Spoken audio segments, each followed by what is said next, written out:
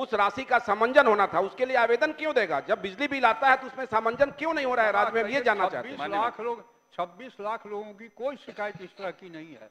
माननीय सदस्य को अगर है तो पाँच दस कर दे दें हम उसको लिखवा लेंगे महोदय महोदय महोदय ये ये मेरा कहना नहीं है। ये अखबार समाचार पत्र में प्रकाशित हुआ जिसको सत्यापित करके हम लोगों ने प्रश्न लाया। महोदय संरक्षण की ज़रूरत है।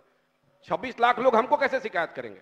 हमारे असेंबली के 10 लोग शिकायत किए अखबार में खबर छपी मैंने किया। अगर मेरा कहना सही है तो माननीय मंत्री जी जाँच करा ले। हम तो आप इतने वर्ष से हैं माननीय मंत्री जी हैं पूरे राज्य के बिजली विभाग की दशा को सुधार दिए। अगर मेरा प्रश्न जायज़ है महोदय तो ये संरक्षित करने की ज़रूरत है। इस मामले में सामंजन करने के लिए हम कर रहे हैं कि अगर मेरा चार सौ रुपया है चार किलो वाट का सोलह सौ रुपया हुआ तो मेरे बिजली बिल में इसका सामंजन क्यों नहीं हो रहा है? मंत्री जी। इसको। श्री राजेश कुमार। पूछता हूँ सर नौ बजे तक ये क्वेश्चन अपलोड नहीं था मैंने ऑनलाइन नहीं आया है इसलिए इसकी माननीय मंत्री योजना एवं विकास विभाग। राजेश कुमार। माननीय मंत्री। योजना एवं विकास विभाग राजेश कुमार जी का। राजेश कुमार जी का। अल्पसूचित। ये ट्रांसफ़र कर दिया गया है। श्री मुकेश कुमार यादव।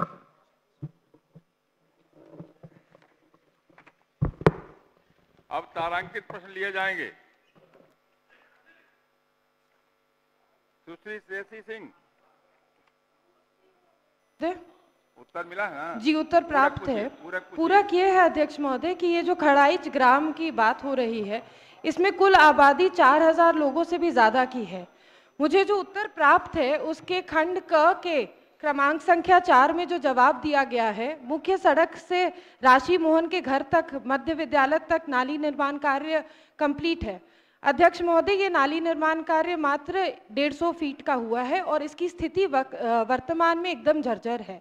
साथ ही साथ जो खंड ख का उत्तर मिला है कि इसमें अनुम अनुमति की लागत लगभग 35 लाख है, इसलिए इस कार्य को ग्रामीण कार्य विभाग द्वारा पूर्ण कराया जाए।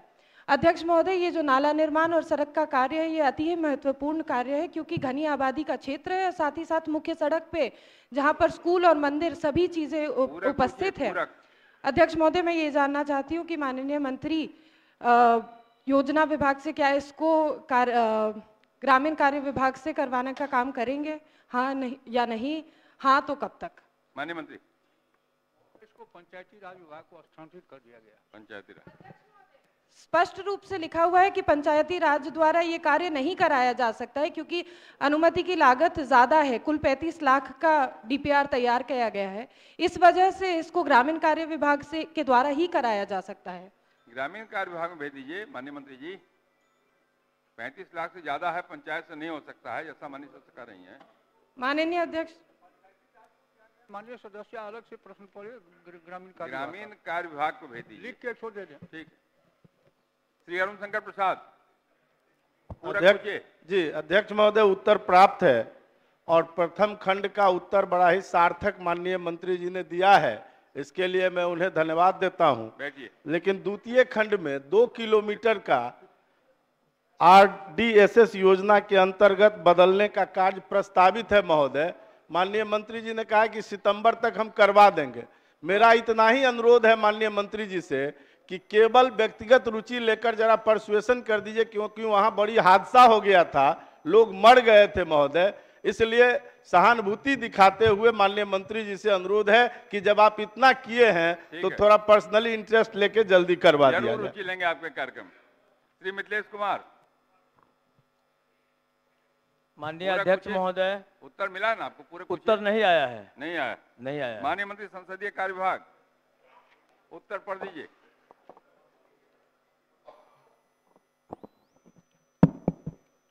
माननीय अध्यक्ष महोदय, खंड एक अस्वीकारात्मक है।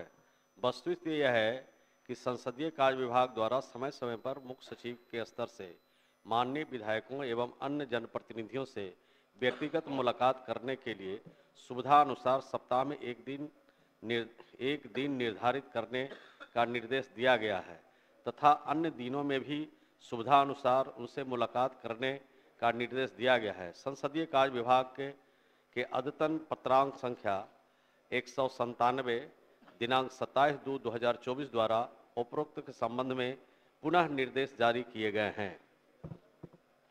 माननीय अध्यक्ष जी पूरक।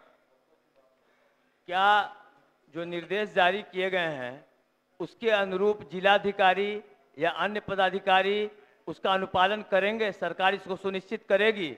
क्योंकि जीएस कंक के समय से कई पत्र जारी हो गए। हमने पहले भी प्रश्न किया था हमको पत्र भी गया था परंतु जिलाधिकारी या आरक्षी अधीक्षक जब तक समय नहीं देंगे तब तक हम जनप्रतिनिधि हैं जनता के विषयों को कैसे रखेंगे? पूरक पूछिए पूरक तो क्या सरकार इसका पत्र जारी करके ये सुनिश्चित करेगी दिन निर्धारित करेगी कि समय मांगने के बाद कितने अवधि के अंदर निश्चित रूप से पदाधिकारी एमएलए या एमपी को समय देंगे? माननीय मंत्री। माननीय अध्यक्ष महोदय, मैंने माननीय सदस्य के प्रश्न के उत्तर में स्पष्ट कहा है महोदय कि पुनः स्मारित किया गया है सभी जिला अधिकारी को और संबंधित विभाग के अधिकारियों को, परमंडलीय आयुक्त को, पुलिस महानिदेशक को, सभी क्षेत्रीय पुलिस निरीक्षक, सभी पुलिस उपा, उप महानिरीक्षक, सभी जिला अधिकारी, सभी वरीय पुलिस अधिकारी, जिला पुलिस अधीक्षक, रेल पुलिस सभी को एक पत्र के ज़रिए पुनः स्मारित किया गया है। तो निश्चित रूप से जो सरकार का निर्देश है महोदय वो अधिकारी निश्चित रूप से पालन करते हैं महोदय। और जहाँ माननीय सदस्य का कहीं से कोई ऐसा शिकायत मिलेगी तो उस पर भी कार्रवाई हम लोग अध्यक्ष जी अध्यक्ष महोदय जिस पत्र का ये माननीय मंत्री जी हवाला दे रहे हैं ये पत्र तो पूर्व से निर्गत है। ऐसे जैसे पदाधिकारी जो पर पूर्व के पत्र को निर्गत या सरकार के आदेश का अवहेलना कर रहे हैं क्या समीक्षा करके कोई कार्रवाई करने का विचार रखते हैं? महाशय जी। चूँकि मिथिलेश जी जो हमारे सीतामढ़ी से आते हैं लगातार ये दूसरी बार प्रश्न आपके सीतामढ़ी नहीं है हम तो पार्लियामेंट भी। लड़े हैं सीतामढ़ी से इसलिए मेरा हक है। हाँ। मेरा ये कहना है कि ये कब तक जब मान लीजिए कोई पदाधिकारी टाइम नहीं दे रहे हैं एक एक महीना पर टाइम नहीं दे रहे हैं ये दर्द है ये दर्द समझने की आवश्यकता है। कब तक दर्द दूर करेंगे? बस हो गया। माननीय मंत्री। अध्यक्ष महोदय अगर कुछ ऐसी सूचनाएँ माननीय सदस्य के तरफ़ से मिलेगी तो उस पर कार्रवाई की जाएगी की जाएगी। श्री उमाकांत सिंह पूरक पूछिए। माइक दो भाई। माननीय अध्यक्ष महोदय आज चनपटिया विधानसभा में दो प्रखंडों में स्वास्थ्य विभाग द्वारा टेंडर हो चुका 21 में। और 21 से अभी तक वहाँ बिल्डिंग नहीं बन सका। और सीओ के द्वारा बार बार आश्वासन दिया जा रहा है कि अब हो जा रहा है अब हो जा रहा है और जगह नहीं मिलने के कारण। पूरक पूर्व के न पूछ रहे हैं कि अभी तक क्यों नहीं बना वहाँ? क्यों नहीं माननीय मंत्री स्वास्थ्य विभाग। माननीय अध्यक्ष महोदय माननीय सदस्य पूरी तरह वाकिफ हैं कि वहाँ की क्या स्थिति है। लेकिन मैं जिलाधिकारी बेतिया को ये निर्देशित करूँगा कि एक महीने के अंदर ज़मीन उपलब्ध कराकर वहाँ काम शुरू कराएँ बहुत बहुत धन्यवाद। श्री राम विष्णु सिंह। राम विष्णु सिंह। श्री विनय कुमार। पूरा पूछिए जी माननीय अध्यक्ष महोदय मेरा क्वेश्चन था कि भरौंदा में अस्पताल का निर्माण किया गया है अतिरिक्त स्वास्थ्य केंद्र है वहाँ महोदय।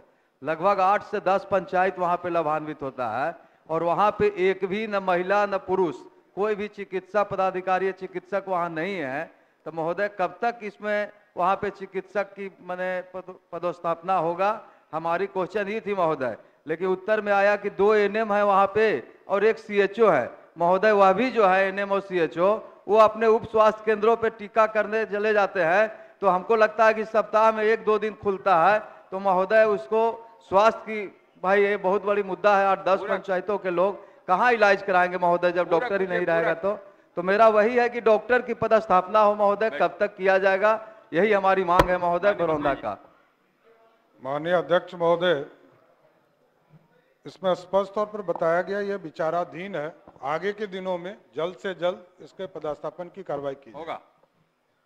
श्री अजय कुमार। महोदय लेकिन जल्द से जल्द कह रहे हैं महोदय जितना जल्द हो क्योंकि चिकित्सा के बात है समय सीमा बता दिया जाए महोदय। जल्द से जल्द तो बता रहे हैं। जल्द हो जाएगा। श्री अजय कुमार। पूछता हूँ सर। पूरक पूछिए उत्तर संलग्न है। जी उत्तर मिला हुआ है और उत्तर के जवाब में जो हमको मिला हमको माननीय मंत्री जी से यह जानना है कि सदर अस्पताल समस्तीपुर और दलसिंह सराय अनुमंडल अस्पताल में टेक्नीशियन के पद कितने सेंक्शन पद हैं? माननीय मंत्री। माननीय अध्यक्ष महोदय इसमें स्पष्ट तौर पर बताया गया है कि आउटसोर्सिंग के माध्यम से टेक्नीशियन की नियुक्ति राज्य स्वास्थ्य समिति के द्वारा किया गया है।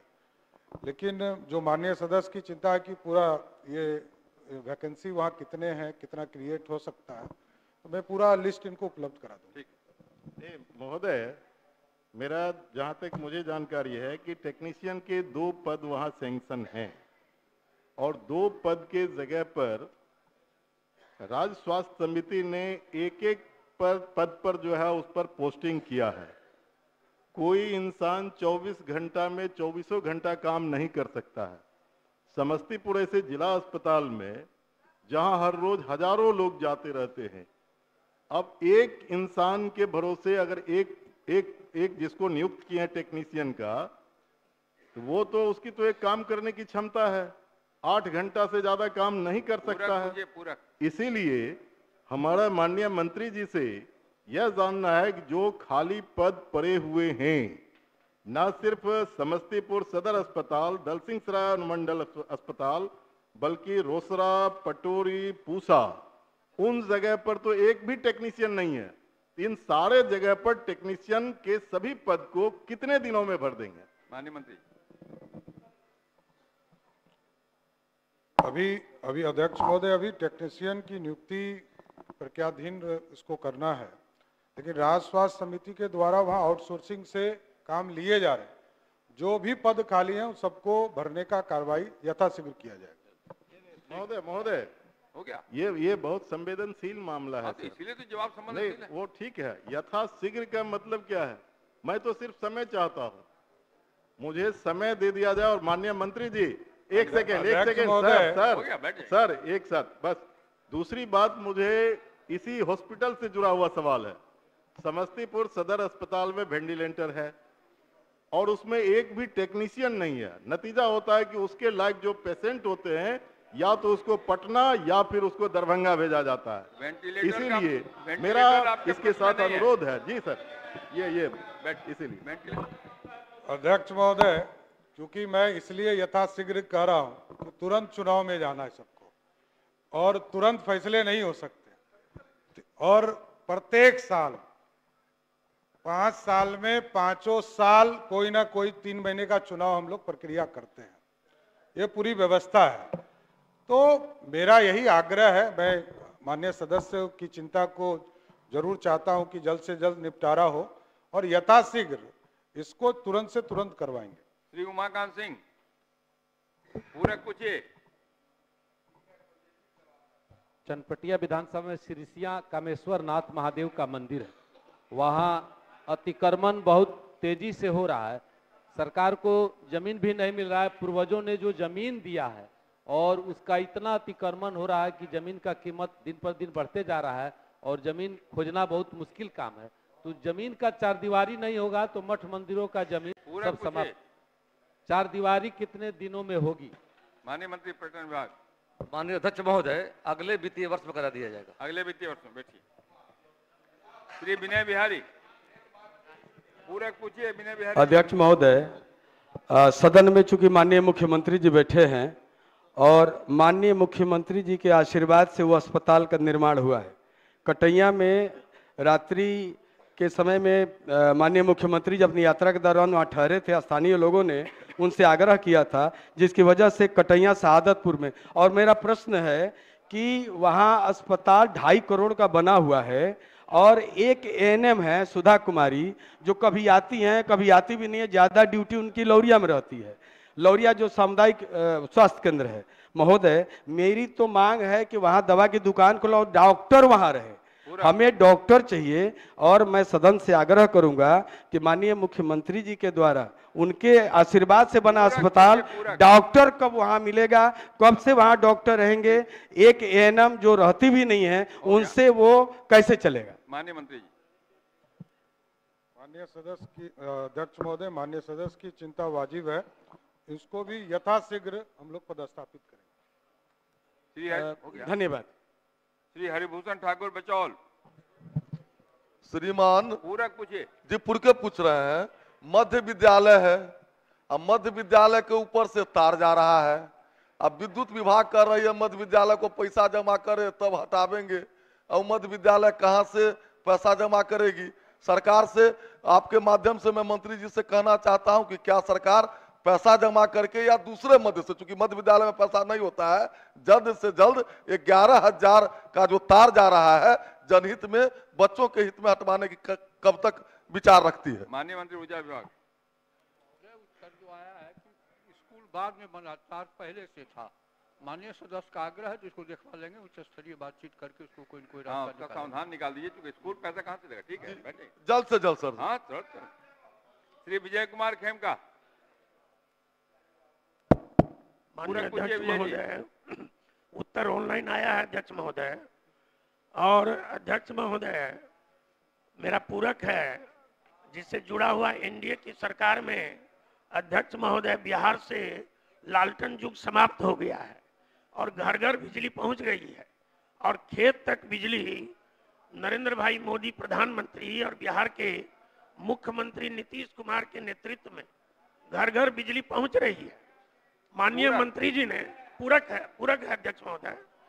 माननीय मंत्री जी ने पूर्णिया जिला के लिए जो कृषि आवेदन है दीनदयाल कृषि विद्युत योजना के अंतर्गत 8809 और मुख्यमंत्री कृषि विद्युत संबंध योजना फ़ेज़ वन के अंतर्गत 2317 मंत्री जी ने बताया है। पूरक पूछिए, पूरक। जी पूरक पूछ रहा हूँ पूरक है जो शेष बचे हुए बिरासी सौ छियानवे जो कृषक आवेदन दिए हैं ऑनलाइन माननीय मंत्री जी समय सीमा बतावे कि वो कब तक उनके खेत तक बिजली पहुँच माननीय मंत्री ऊर्जा विभाग।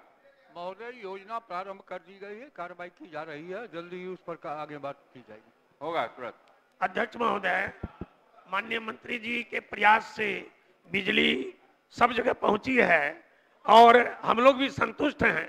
लेकिन माननीय मंत्री जी ने फ़ेज़ टू जो मुख्यमंत्री विद्युत योजना के अंतर्गत फ़ेज़ टू है, उसका कैंप लेके आवेदन शुरू किया है।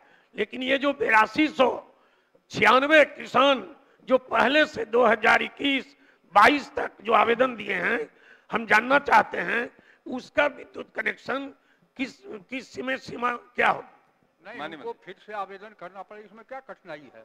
वो उस फ़ेज़ में उतना ही पैसा था उतना ही फ़ेज़ वन में दिया गया।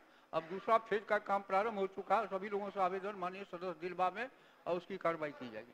ठीक है। आप पूर्णिया कहाँ चले गए? अध्यक्ष महोदय। हो गया। अध्यक्ष महोदय हो गया यार। बार बार कितना आवेदन करेंगे? किसान बेरासी सौ की पूर्णिया में संख्या है अध्यक्ष महोदय। पैसा समाप्त हो गया फ़ेज़ टू में जो पैसा है उसमें आवेदन देना पड़ेगा। कर दीजिए। विशेष ध्यान रखें पूर्णिया पर अध्यक्ष आप पूर्णिया में कहा चले गए ये हम लोग के लिए गौरव की बात है कि माननीय मुख्यमंत्री इस हाउस में अभी उपस्थित हैं और आज उनका जन्मदिन है। इसलिए हम लोग सम्मिलित रूप में उनको जन्मदिन की बधाई देने यही प्रस्ताव मेरा है। श्री समीर कुमार महासेठ। जी पूछता हूँ। पूरक पूछिए पूरक। अध्यक्ष महोदय ये लगातार मेरा क्वेश्चन आता रहा। माननीय मंत्री जी को कितने बार हम धन्यवाद भी दिए हैं, लेकिन सच्चाई बात है कि पूरा शहर, जो नगर निगम है, अब पूरा पंडौल बिहार में वन टू टेन में सबसे बड़ा हमारा ब्लॉक है। एक ही एसडीओ जबकि ये अवर अवर प्रमंडल इन्होंने बना दिया दो साल पहले ही। लेकिन पदाधिकारी नहीं देंगे एसडीओ ही नहीं देंगे, जो शहर का भी रहेगा, वहाँ इंडस्ट्रियल एरिया भी है पंडौल। तो सिर्फ़ आग्रह करना था कि अब कितने कब तक? माननीय मंत्री जी। तो जल्दी ही कार्रवाई की जाएगी। तुरंत की जाएगी।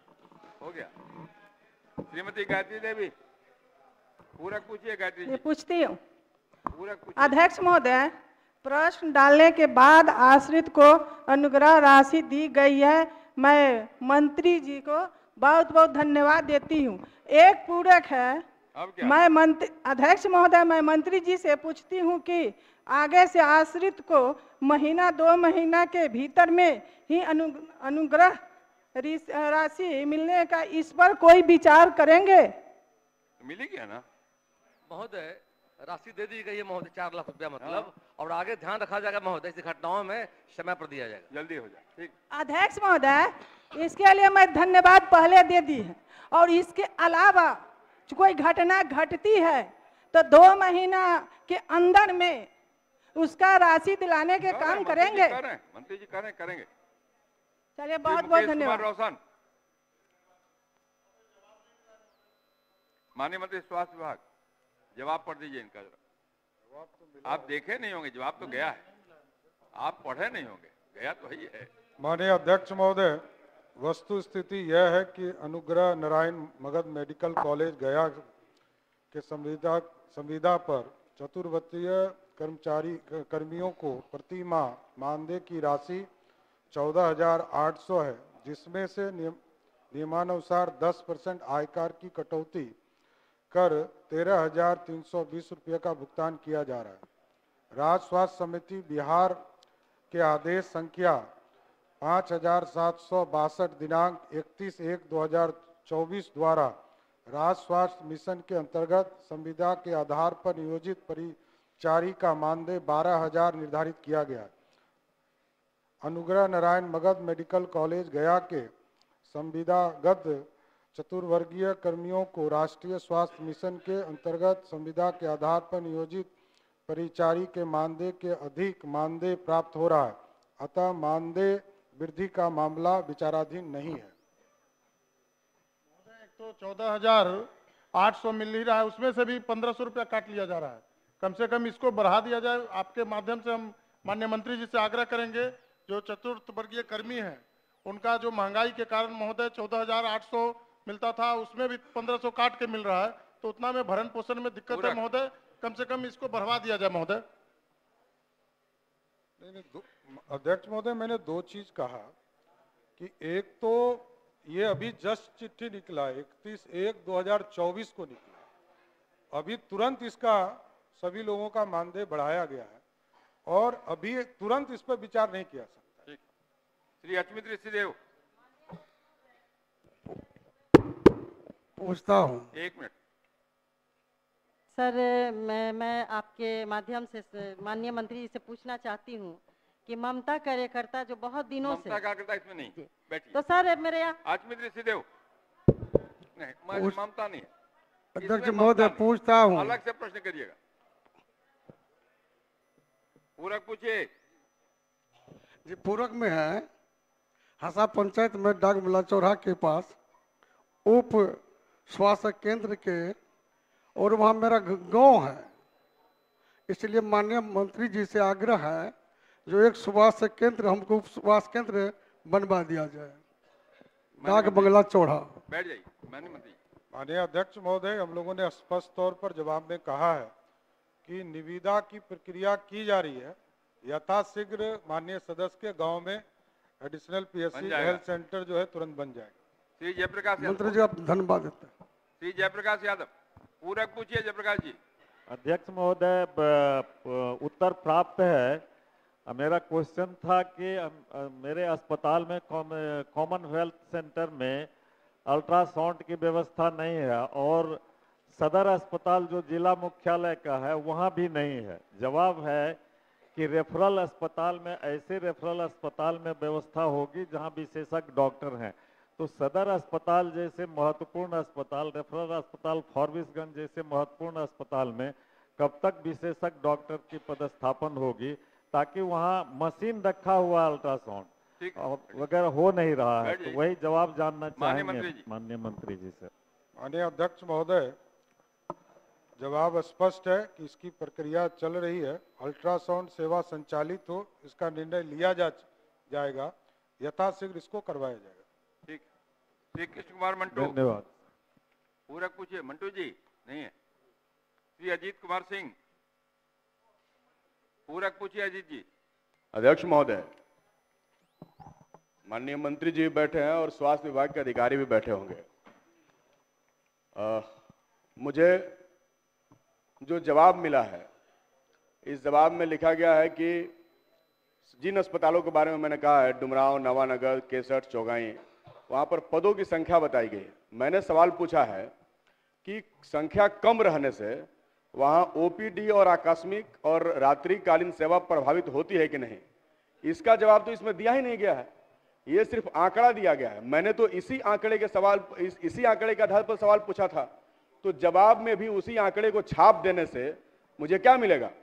जबकि बात स्पष्ट है जो भी जवाब दिया गया है। महोदय। क्या है नहीं, नहीं। आप ही का प्रश्न पढ़ता हूँ। जी। आपने किया है अलग अलग स्थान का ज़िक्र देखते हुए स्वीकृत पद के आधार पर चिकित्सकों को बहाल करने और मंडल अस्पताल में हड्डी संबंधित ऑपरेशन शुरू कराने का विचार रखती है। यदि हाँ कब तक नहीं तो क्यों? तो सरकार ने जवाब दिया है। अध्यक्ष महोदय। पदों के विरुद्ध चिकित्सकों की सामने कार्रवाई की जा रही है। नहीं नहीं अध्यक्ष महोदय मैंने पूछा है। कि क्या यह बात सही है कि बक्सर जिला के विभिन्न अस्पतालों में डॉक्टर की संख्या कम रहने की वजह से आकस्मिक सेवा और ओपीडी सेवा प्रभावित होती है कि नहीं ये मेरा पहला सवाल है। इसका जवाब तो है ही नहीं इसमें। पूरा पूछे ना पूरक ही तो पूछ रहा हूँ इसका जवाब है ही नहीं। आप बताइए कि रहती है कि नहीं रहती है। ये मेरा पहला पूरक है महोदय।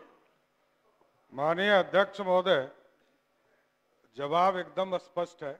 माननीय सदस्य इधर उधर मत घुमावे वस्तुतः स्थिति यह है कि अनुमंडलीय अस्पताल डुमराव में चिकित्सकों के स्वीकृत 28 पदों के विरुद्ध 9 पद पर चिकित्सक हैं। सामुदायिक स्वास्थ्य केंद्र नावानगर में स्वीकृत 13 के विरुद्ध तीन चिकित्सक हैं। प्राथमिक स्वास्थ्य केंद्र केसठ में स्वीकृत आठ के विरुद्ध एक है। प्राथमिक स्वास्थ्य केंद्र चौगाई में स्वीकृत आठ के विरुद्ध तीन है। चिकित्सक हैं। एवं प्राथमिक स्वास्थ्य केंद्र डुमराव में स्वीकृत आठ पद के विरुद्ध दो हैं। स्थिति बताई गई है इनको, और साथ साथ ये बताया गया कि हनुमंडल अस्पताल डुमराव में एक हड्डी रोग विशेषज्ञ पदस्थापित हैं, जिनके बारे में इन्होंने चर्चा किया है कि हड्डी टूट जाता है तो दुर्घटना में हड्डी टूटने के दौरान उसके प्लास्टर नहीं किया जाता। उसकी चर्चा इन्होंने किया, और शेष जो पद रिक्त हैं, उसके विरुद्ध पदस्थापन की कार्रवाई की जाएगी। सर सर, माननीय स्वास्थ्य मंत्री जी से हम लोग को बहुत उम्मीदें हैं। मैं, वही तो मैं कह रहा हूँ, मैंने तो पढ़ा, जो लिखा है, सर ने उसी को पढ़ा। महोदय, मैंने पूछा है कि ये पद रिक्त है तो क्या इसके वजह से आकस्मिक सेवाएँ ठप रहती हैं? इसको हाँ और ना में जवाब देना है, महोदय, जिसका जवाब नहीं मिला है मुझे। जिसका जवाब नहीं मिला है। दूसरा सवाल है, महोदय, दूसरा सवाल मैंने पूछा है, ऑपरेशन तथा प्लास्टर, दोनों सवाल पूछा है। महोदय, कृपया समय दिया जाए एक सेकंड। ऑपरेशन तथा प्लास्टर। महोदय वहाँ ड्रेसर नहीं है। जिसकी वजह से ऑपरेशन तो होता ही नहीं है और इन्होंने ऑपरेशन का जवाब नहीं दिया। होता है कि नहीं? इनको लिखना चाहिए था कि ऑपरेशन नहीं होता क्या है लिखना चाहिए? महोदय आप क्या पूछना चाहते हाँ, हैं मैं ये पूछना चाहता हूँ कि ये ऑपरेशन होता है कि नहीं होता है जिसका जवाब नहीं मिला। दूसरा महोदय दूसरा महोदय इसमें यह है इन्होंने लिखा है कि कभी कभी प्लास्टर होता है। मैं कहना चाहता हूँ कभी नहीं होता है। जो भी डॉक्टर हैं उनका बगल में प्राइवेट क्लिनिक है। कोई आता है तो अपने प्राइवेट क्लिनिक में भेज देते हैं और वहाँ प्लास्टर होता है। पूरा अस्पतालों की यही स्थिति है महोदय ये दुर्दशा है।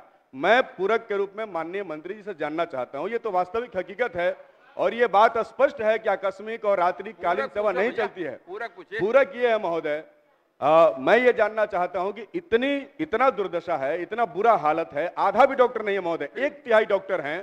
तो मैं पूरक ये पूछना चाहता हूँ कि अगर सरकार चाहती है कि राज्य में बेहतर स्वास्थ्य सुविधा बहाल हो सके तो उसके लिए क्या यथाशीघ्र अभी सर ने बताया चुनाव। मैं चाहता हूँ चुनाव नहीं बात हो सर चुनाव के पहले यथाशीघ्र क्या डॉक्टर की नियुक्ति होगी जिससे कि वहाँ के लोगों का जान बच सके माननीय मंत्री माननीय सदस्य की जो चिंता है अध्यक्ष महोदय इनके ही यथाशीघ्र पर कार्रवाई करूँगा आश्वस्त करता हूँ। आप कहा चले गए वहाँ? बोलिए।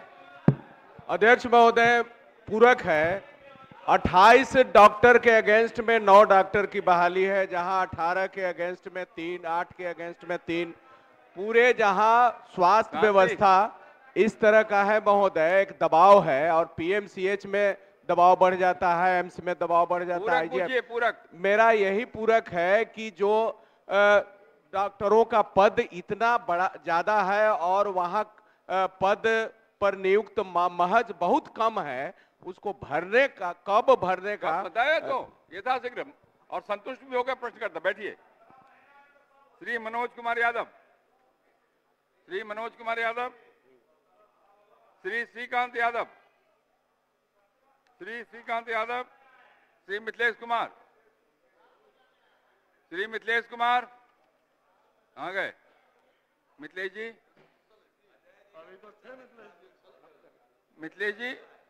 बढ़ गया श्री संजय सरावगी ये पूछता हूँ, अध्यक्ष महोदय, उत्तर मुद्रित है अध्यक्ष महोदय, लेकिन मैं ये जानना चाहता हूँ अध्यक्ष महोदय, कि कोई समय सीमा, विद्युत विभाग ने बहुत बढ़िया काम किया कि कोई अगर सरकारी पोल तार से, करंट से मृत्यु हो जाती है तो चार लाख का उसको मुआवजा मिलता है। मेरे प्रश्न करने के बाद उन दोनों को चेक पहुँच गया। लेकिन मैं माननीय मंत्री से यह पूछना चाहता हूँ कि डेढ़ डेढ़ साल हो जाता है कोई समय सीमा जो है माननीय मंत्री जी तय करेंगे क्या?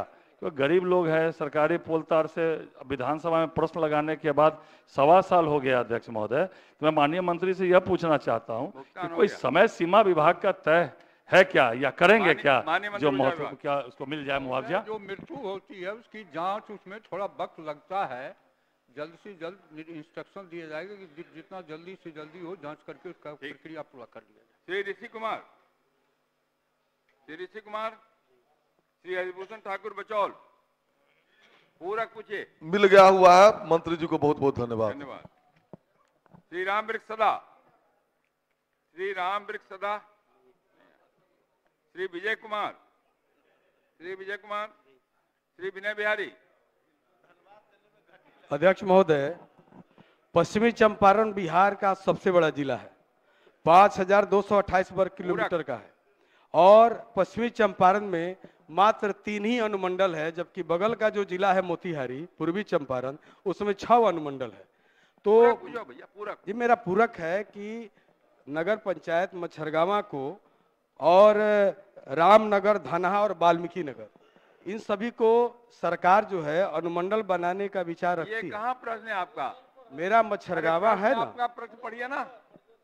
प्रश्न नंबर चौदह सौ बारह। आप कुछ और पढ़ने जा रहे हैं। हाँ चौदह सौ बारह ठीक। बोलिए हमारे यहाँ जो नंदनगढ़ है ये नंदनगढ़ जो है यहाँ पे इसकी जो ज़मीन है उसकी ज़मीन को अतिक्रमित किया गया है। पूरा? और पूरा किए है कि सौंदर्यीकरण कब तक किया जाएगा ताकि वहाँ पे अतिक्रमण मुक्त हो उसकी बाउंड्री हो। मंत्री पटन विभाग। महोदय वस्तुतः यह है कि लौरिया नंदनगढ़ भारतीय पुरातत्व सर्वेक्षण महोदय ये जो है ना महोदय मैं देख रहा हूँ भारतीय पुरातत्व सर्वेक्षण के प्रबंधन महोदय है इसे ट्रांसफ़र कर दिया गया है कला संस्कृति विभाग को ट्रांसफ़र कर दिया गया है। कला संस्कृति विभाग को गया जवाब आपको जाएगा बाद में। श्री राम प्रवेश राय। पूरक पूछिए राम प्रवेश जी उत्तर संलग्न है।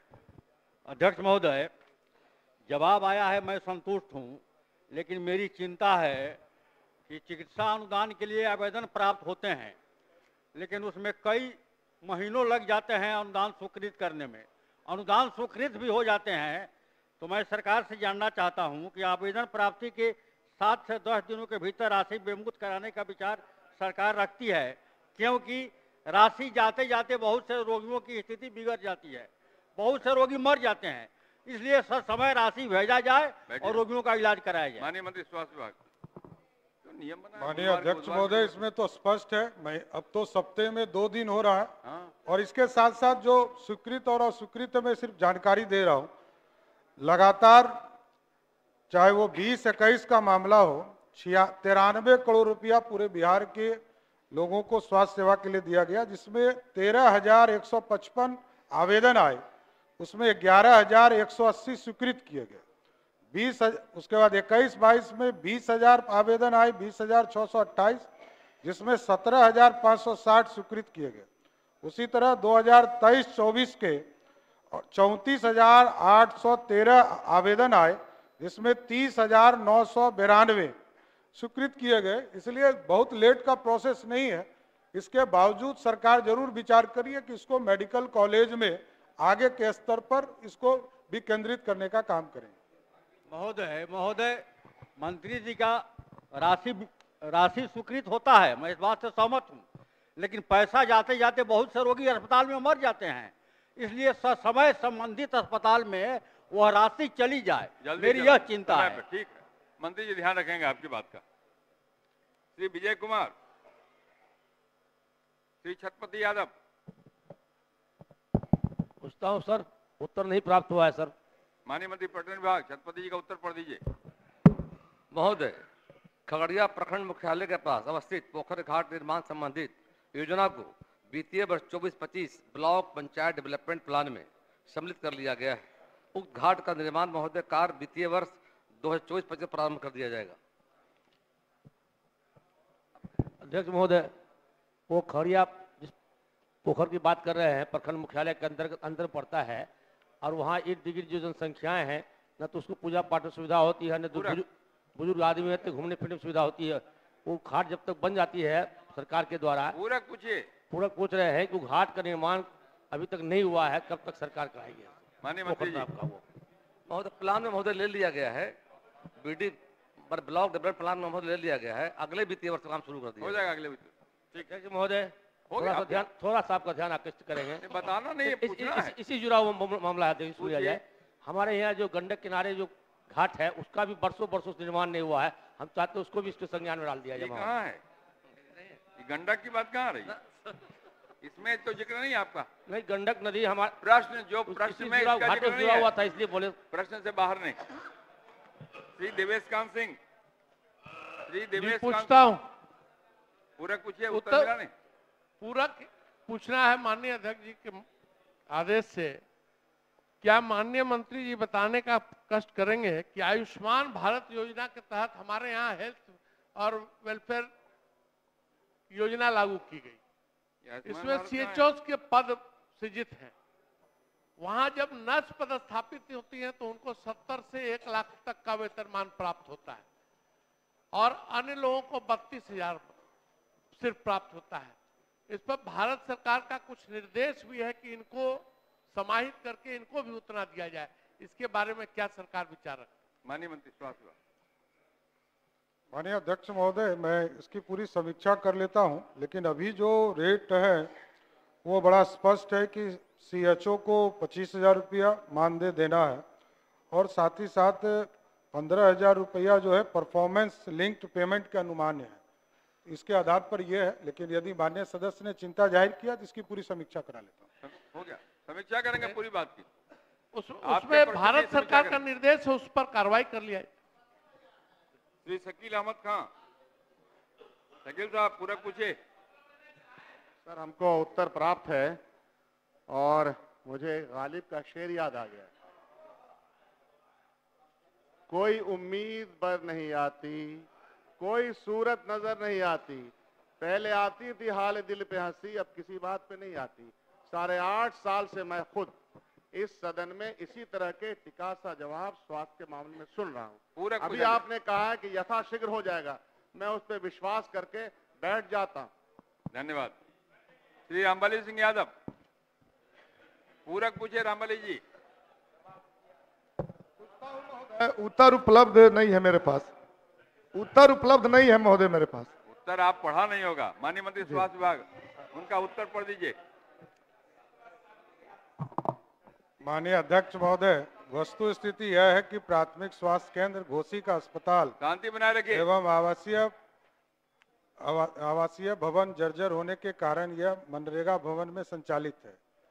निर्माण agency B M S I C L से इस कार्यालय के पत्रांक एक सौ छियासी ब्रैकेट दस दिनांक 28 दो 2024 के द्वारा प्राकलन की मांग की गई है। प्राकलन प्राप्त होते ही अ, प्रक्रिया अनुसार स्वीकृति की कार्रवाई की जाएगी। अध्यक्ष महोदय पिछले बजट सत्र में अ, मेरा गैर सरकारी संकल्प था महोदय। प्राथमिक स्वास्थ्य केंद्र घोसी का आवासीय भवन और अस्पताल भवन बनाने के लिए। अ, सरकार द्वारा आश्वासन मिला था कि इसी वित्तीय वर्ष में मतलब तेईस चौबीस में बनवा दिया जाएगा। तो क्या हम लोग सरकार से जानना चाहेंगे कि क्या इसी वित्तीय वर्ष में बनेगा तो इतना जल्दी नहीं मैं समझता हूँ लेकिन क्या इसी वित्तीय वर्ष में निर्माण कार्य शुरू हो जाएगा महोदय? माननीय मंत्री। माननीय अध्यक्ष महोदय मैंने स्पष्ट तौर पर कहा कि 28 दो 2024 को प्राकलन बनाने का आदेश दे दिया गया है। जैसे ही प्राप्त होती है उसे ही स्वीकृत करके काम शुरू किया जाएगा। महोदय एक समय बता दिया जाए महोदय कब तक ये उम्मीद रखा जाए कि शुरू हो जाएगा घोसी अस्पताल निर्माण? ये मैंने तो स्पष्ट कहा अध्यक्ष महोदय कि 28 दो को मतलब दो दिन पहले हम लोगों ने प्राकलन बनाने का आदेश दिया है। जैसे ही प्राप्त होता है स्वीकृत कर देंगे। ठीक है। श्री राम सिंह। राम जी पूरक पूछिए राम सिंह जी। जी, मैं पूरा पूछता हूँ। मैं जो प्रश्न किया था, उसके उत्तर जो आया है, वह स्वास्थ्य उप केंद्र में प्रा- अतिरिक्त प्राथमिक स्वास्थ्य केंद्र चलता है। वहाँ स्वास्थ्य उप केंद्र जिसमें बैठने के लायक कोई जगह नहीं है। और मेरे प्रश्न करने के बाद में एजेंसी जाकर जाँच करके उत्तर दिया अट्ठाईस दो को। इसलिए मैं जानना चाहता हूँ कब तक बन जाएगा? माननीय मंत्री। माननीय अध्यक्ष महोदय इसमें स्पष्ट तौर पर बताया गया है कि इसका आकलन किया जा रहा है। आकलन जैसे ही प्राप्त होता है तो पूरा स्ट्रक्चर किस तरह बनाया जा सकता है इसको स्वीकृति तुरंत अगले वित्तीय वर्ष में दे दूँगा। अगले वित्तीय वर्ष में होगा। बहुत बहुत धन्यवाद माननीय मंत्री जी को। Doctor C N Gupta. पूरक पूछिए गुप्ता जी। जी। जो सरकार के तरफ़ से प्रश्न का जवाब दिया गया है, उस संबंध में अध्यक्ष महोदय, मैं ये कहना चाहूँगा कि आज के युग में जाँच का महत्व काफ़ी बढ़ गया है। जहाँ सुविधाएँ उपलब्ध है, अच्छी बात है, लेकिन जहाँ जाँच की उपलब्धता नहीं है, महीनों, मरीजों को परेशानी हो रही है, उनके पैसे का अपव्यय हो रहा है सरकार को इन बातों पर ध्यान रखना चाहिए और जल्द से जल्द टेक्नीशियन की बहाली हो इस पर सोचना चाहिए। ठीक है। ज़रूर सोचेगी सरकार। श्री विनय कुमार। श्री विनय कुमार। पूरक पूछिए विनय जी।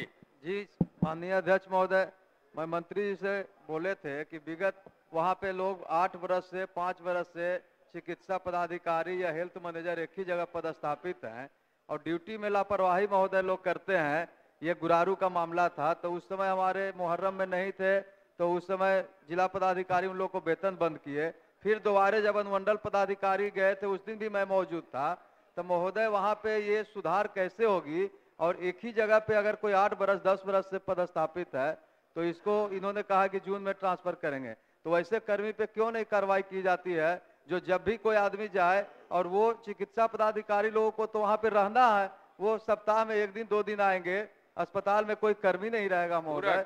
वो ब्लॉक लेवल का भाई सामुदायिक स्वास्थ्य केंद्र है। अभी तो नया भवन का भी उद्घाटन माननीय मंत्री जी के द्वारा किया गया है प्रधानमंत्री जी के द्वारा किया गया है। तो वहाँ पे और डॉक्टरों की बहाली किया जाए और मतलब विधि व्यवस्था को सुधारा जाए महोदय वो सात करोड़ के लागत से लगभग अस्पताल बनाया गया महोदय। ठीक है। माननीय अध्यक्ष महोदय मैंने स्पष्ट तौर पर इसमें बताया है कि जाँच के उपरांत डॉक्टर मजहर हुसैन साहब का वहाँ पर जो है वेतन रोक दिया गया है और कार्रवाई की जा रही है। और इसके बाद जो डॉक्टर्स बचे हुए हैं या अन्य पदस्थापन करना है उसको जून माह तक पूरा कर लिया जाएगा। महोदय एक मिनट पूरक है महोदय। आप ये बोले पूछते हैं? पूरक पूछते ही नहीं है। महोदय ये बोले कि वेतन रोक दिया गया फिर वेतन चालू भी हो गया। हेल्थ मैनेजर जो है वहाँ पे उनकी क्यों नहीं ट्रांसफ़र की जाती है? पाँच पाँच बरस से उनको तो क्यों नहीं वेतन? होगा ट्रांसफ़र। उनको भी कब तक हटाएँगे महोदय? हम इसलिए बोल रहे हैं कि उनको मतलब बदली किया जाए महोदय यहाँ से हटा दिया जाए। माननीय सदस्य लिख के दे दें इसको जल्द से जल्द कार्रवाई की जाए। श्रीमती प्रतिमा कुमारी। पूछती हूँ सर। पूरा पूछिए प्रतिमा जी। सर सवाल का जवाब नहीं देखे हैं। माननीय मंत्री जी को बोलिए कि जरा पढ़ दें फिर पूरा माननीय मंत्री ऊर्जा विभाग। प्रतिमा कुमारी जी का जवाब जवाब नहीं मिला है। नहीं मिला नहीं पढ़ा। पढ़ दीजिए। पढ़ी ही नहीं होगी। जवाब पढ़ दीजिए। विधानसभा क्षेत्र वैशाली जिला के राजा पाकर के प्रखंड सहदेई बुज़ुर्ग अंतर्गत पोहियार पंचायत के वार्ड नंबर नौ सात स्थित दलित बस्ती में गर्मी एवं ओवरलोड के कारण केबल फॉल्ट हो गया था। जिसे अविलंब बदल, बदलवाने की कोशिश की गई परंतु तकनीकी कारण से दो तीन विद्युत आपूर्ति बाधित रही थी। वर्तमान में केबल बदलकर विद्युत आपूर्ति समान रूप से जारी है। तकनीकी अथवा अथवा अन्य कारणों से यदि विपत में त्रुटि हो जाती है तो नजदीकी कार्यालय में संपर्क स्थापित कर इसे सुधार कराई जाती सकती है। उपभोक्ताओं को सुविधा के लिए विपत्त सुधार हेतु प्रत्येक माह दूसरे शनिवार को प्रशाखा स्तर पर कैंप का आयोजन भी किया जाता है।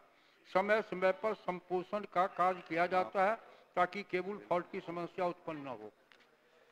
पूरक है मेरा।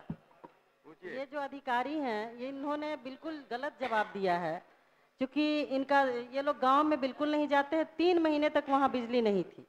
जब हम गाँव में गए तो गाँव की महिलाओं ने कहा कि मैडम हम लोग शाम को ही खाना बना के सो जाते हैं क्योंकि दस रुपया में जब मोमबत्ती लाते हैं आधा घंटा भी नहीं जलता है। बच्चे पढ़ नहीं पा रहे उसके बाद बिजली इन्होंने जोड़ा। पूरा पूछिए बिजली विभाग के। लेकिन जब बिजली जोड़ने के बाद जो जब तीन महीने बिजली नहीं था उसका भी बिजली बिल भेजा है अधिकारियों ने। तो दोषी अधिकारियों पे कार्रवाई करेंगे माननीय मंत्री जी। माननीय मंत्री जी।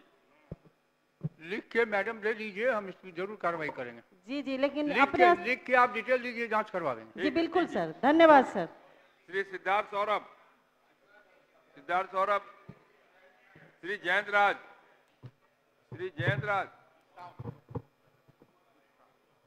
उत्तर मिला है आपको? पूरा पूछिए। सर उत्तर नहीं मिला है सर। माननीय मंत्री स्वास्थ्य विभाग। उत्तर पढ़ लीजिए इनका।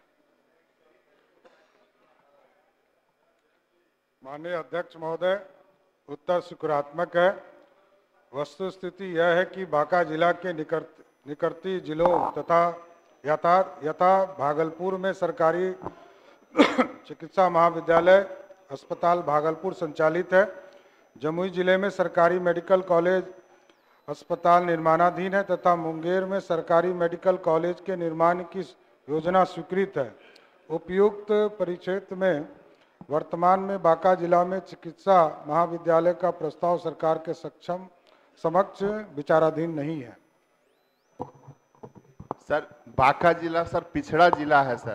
आकांक्षी जिला है बिहार के आकांक्षी जिला में बांका जिला भी आता है नीति आयोग के अनुसार। स्वास्थ्य व्यवस्था वहाँ का काफ़ी लचर है सर। और सर उसको जल्द से अगर अगर वहाँ पे एक विद्यालय चिकित्सा महाविद्यालय नहीं है। लेकिन आप कह रहे हैं तो सरकार सुन भी रही है बैठिए माननीय मंत्री माननीय उप मुख्यमंत्री सर बगल के आते हैं वो पूरा ज़िले से ये परिचित हैं सर। सरकार ने आपकी बात सुनी है। सर। माननीय मंत्री। माननीय अध्यक्ष महोदय स्वाभाविक है मुंगेर भागलपुर और जमुई में अस्पताल या तो चल रहे हैं या निर्माणाधीन है। इसके बाद तो बाका ही बनना है ज़रूर बनेगा इसमें कहीं दो मत नहीं। श्री अरुण शंकर प्रसाद पूरक पूछिए अरुण जी। जी अध्यक्ष महोदय मेरा पूरा कितना ही है कि मैं माननीय मंत्री जी से जानना चाहता हूँ कि मेरा प्रश्न है कि बासो पट्टी में विद्युत अब आपूर्ति अवर प्रमंडल कार्यालय संचालित हो। अर्थात वहाँ एसडीओ का पद है, असिस्टेंट इंजीनियर है महोदय। माननीय मंत्री जी ने कृपा करके वहाँ नवसृजित बनाया भी है, लेकिन वो अवर जो एसडीओ है, वो इन्होंने अनुमति दे दिया है कि किराए पर लेकर आप कार्यालय चलाइए। लेकिन ये जयनगर में आवास रखे हुए हैं इसलिए ये चाहते नहीं है कि बासोपट्टी के लोगों को इसका लाभ मिले और जयनगर से ही संचालित करते हैं। तो बासोपट्टी में कब तक कार्यालय किराए पर लेकर या अपना भवन बनाकर वहाँ कार्यालय अवस्थित करके उसमें विधिवत वो बैठना चाहते हैं बैठाना चाहते हैं? मंत्री ऊर्जा विभाग। अब भवन बनाने में जो वक्त लगेगा कार्यालय पर निर्देश दिया गया है उसको लिखवा लेते हैं। हाँ वो नहीं उत्तर दिया है महोदय। माननीय मंत्री जी आपके उत्तर में यह स्पष्ट है कि आपने आदेश दिया है किराए पर लेने के लिए। माननीय सदस्य का कहना है कि वो किराए पर लेना नहीं चाहता है क्योंकि कराता कहीं और है। इसको मैंने दिखवा लीजिएगा। मैंने कहा दिखवा हाँ हैं दिखवा। लीजिएगा। ठीक है। श्रीमती रश्मि वर्मा। पूछती हूँ। पूरा उत्तर मिला ना आपको? माननीय मंत्री जी पढ़ दें जरा जवाब। माननीय मंत्री स्वास्थ्य विभाग। माननीय अध्यक्ष महोदय, वस्तु स्थिति यह है कि राज्य में वर्ष 2012 से एंबुलेंस का परिचालन राष्ट्रीय स्वास्थ्य मिशन, एनएचएम, भारत सरकार के दिशा निर्देशों के आलोक में निविदा के माध्यम से चयनित आउटसोर्स एजेंसी के द्वारा किया जा रहा है।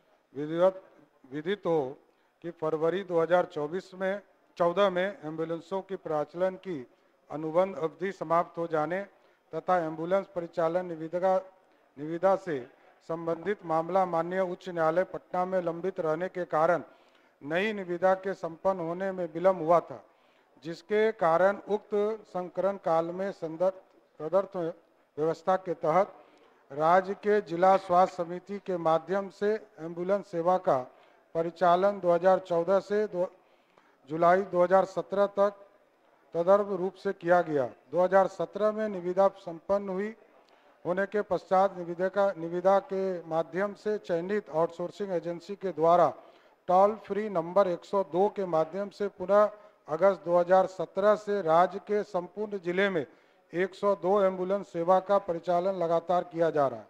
वस्तु वस्तु स्थिति यह है कि राज्य के आम लोगों द्वारा टोल फ्री नंबर 102 पर कॉल कर एंबुलेंस सेवा निशुल्क प्राप्त की जाती है। परंतु तकनीकी या अन्य कारणों से टोल फ्री 102 के माध्यम से यदि एंबुलेंस सेवा बुक नहीं हो सका या आईडी जनरेट नहीं हो पाए तो संबंधित जिला अस्पताल अधीक्षक या उपाधीक्षक या प्रभारी।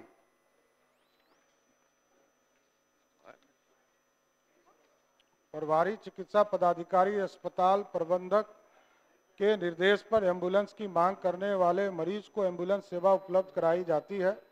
विदित है हो कि राज्य में 102 एंबुलेंस सेवा के तहत संचालित सभी एंबुलेंस के परिचालन से संबंधित संधारित लॉगबुक का सत्यापन संबंधित अस्पताल स्वास्थ्य संस्थान के अधीक्षक उपाधीक्षक प्रभारी चिकित्सा पदाधिकारी द्वारा किया जाता है जिसके पश्चात ही एंबुलेंस के परिचालन व्यय का भुगतान संबंधित जिला स्वास्थ्य समिति द्वारा किया जाता है। इतना विस्तृत जवाब है अब क्या है? जी मेरा पूरक ये है महोदय की जो जेनरेशन होता है जो आईडी जनरेट होता है वो कभी भी फ़ोन नहीं लगता है मैक्सिमम फ़ोन्स नहीं लगते हैं। नतीजा ये होता है कि एंबुलेंस खड़ी की खड़ी रह जा रही है और प्राइवेट एंबुलेंस यूज़ हो रहा है जो मनमाना ढंग से मरीजों का मैं पूछना चाहती हूँ कि क्या सरकार स्वयं हॉस्पिटल के प्रभारी को ये सिस्टम हाथ में देना चाहते हैं डायरेक्ट सो दैट मरीजों को डायरेक्ट एंबुलेंस की व्यवस्था हो सके। माननीय मंत्री नहीं मैंने स्पष्ट तौर पर अध्यक्ष महोदय बताया कि टोल फ्री नंबर पर यदि आईडी जनरेट नहीं होंगे तो जो अधीक्षक हैं या डिप्टी सुप्रिटेंडेंट हैं या प्रभारी हैं उनके माध्यम से भी एंबुलेंस उपलब्ध कराया जाएगा। अब प्रश्नोत्तर काल समाप्त हुआ। एक एक और पूरक था महोदय कि क्या कि क्या ऐसा कोई नोटिफिकेशन निकला है किसी अधीक्षक के विषय में या प्रभारी? जी कह रहे हैं तो हो गया ना। यदि हो तो उसे अस्पताल में कहीं पर बाकायदे नोट करा दिया जाए या चिपका दिया जाए सो दैट मरीजों को ये जानकारी नहीं है। सबको जानकारी मिल जाए। उसको दिखवा लेंगे। जी धन्यवाद। अब प्रश्नोत्तर काल समाप्त हुआ। जिन प्रश्नों के उत्तर तैयार हो उन्हें सदन पर रख दिया जाए। अब कारासगन प्रस्ताव की सूचना ली जाएगी।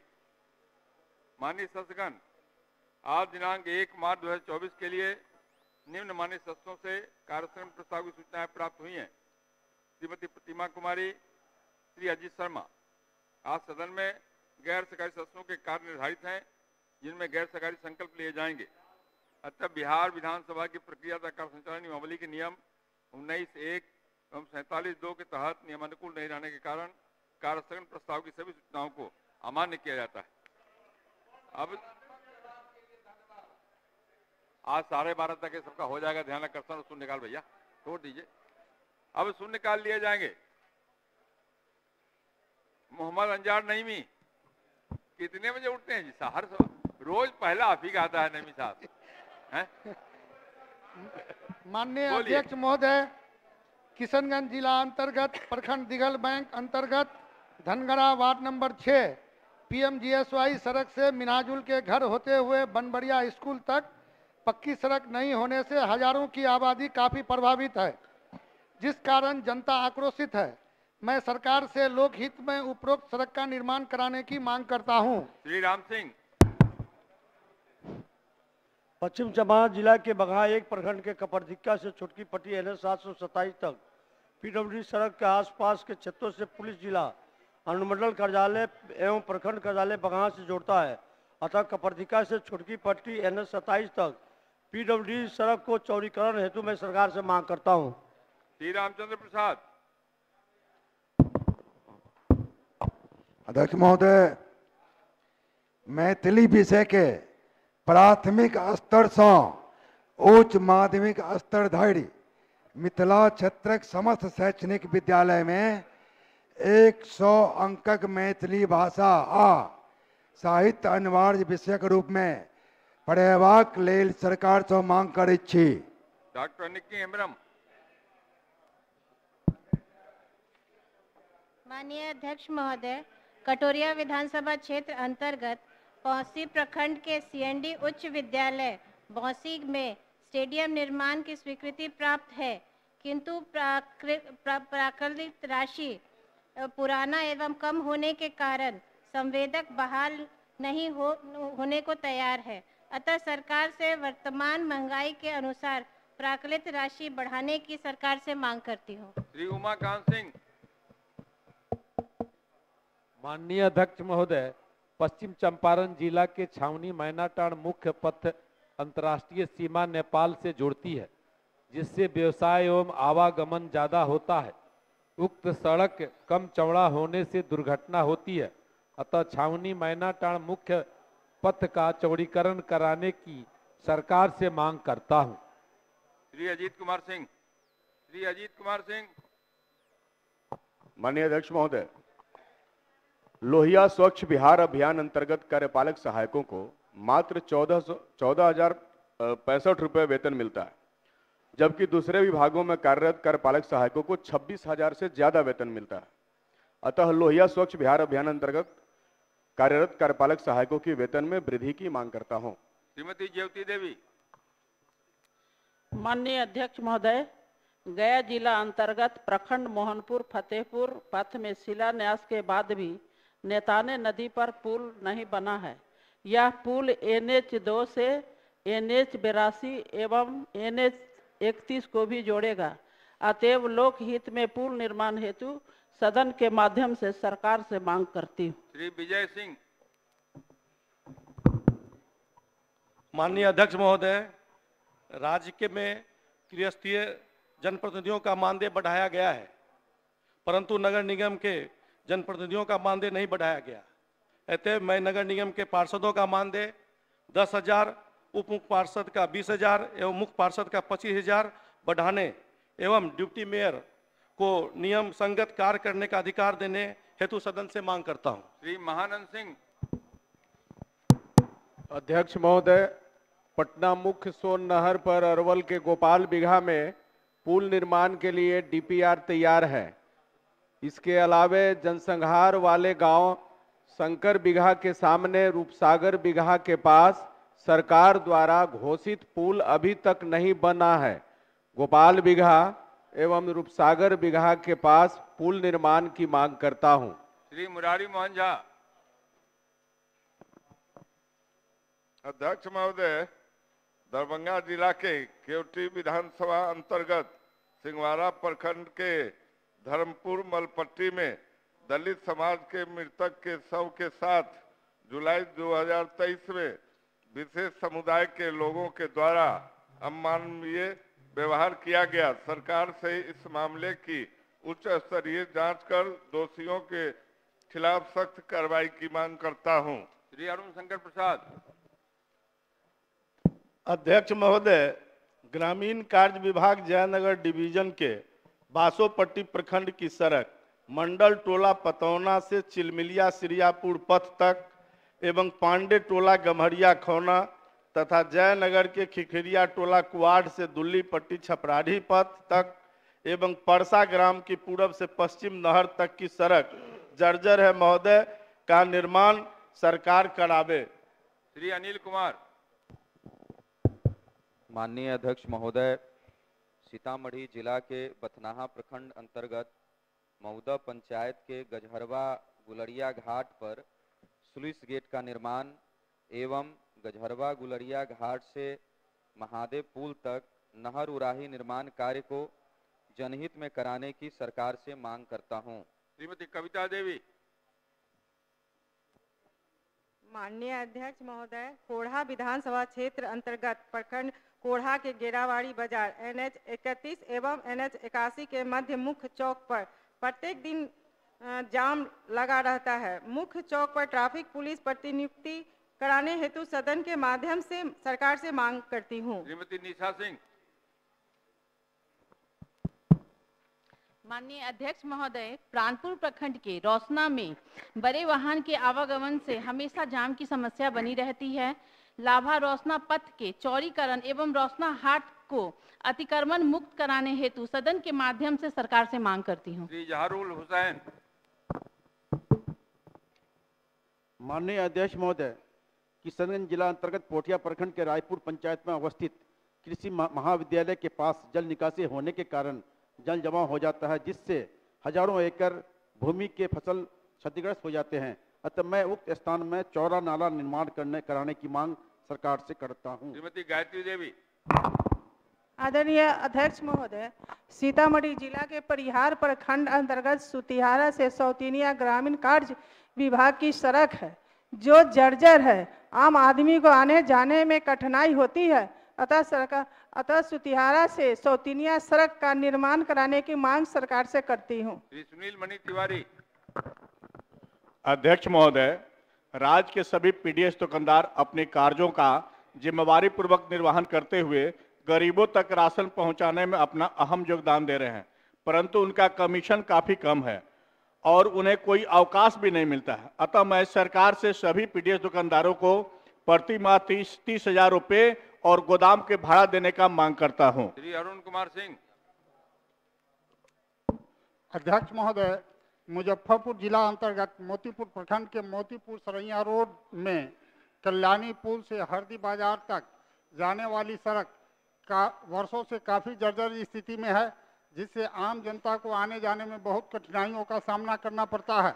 अतः मैं सरकार से उक्त रोड की अतिशीघ्र निर्माण का मांग करता हूँ। श्री रामबली सिंह यादव।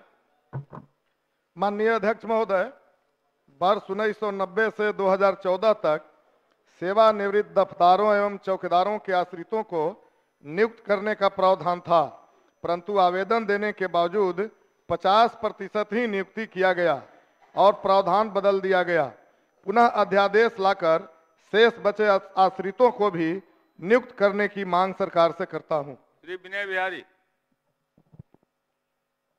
अध्यक्ष महोदय पश्चिमी चंपारण के लौरिया अंचल अंतर्गत नुनीवा टोला बरवा बगलोचना बिरती मटियरिया बंगाली शरणार्थी कॉलोनी मटियरिया बसंतपुर बेलवा धमौरा वृंदावन दलित बस्ती दनियाल परसौना बारी टोला लखनौता व अशोका स्तंभ को बाढ़ कटाव से सुरक्षित करने के लिए बाढ़ पूर्व विभागीय कार्रवाई हो सदन में मैं इसकी मांग करता हूँ। किशनंदन पासवान।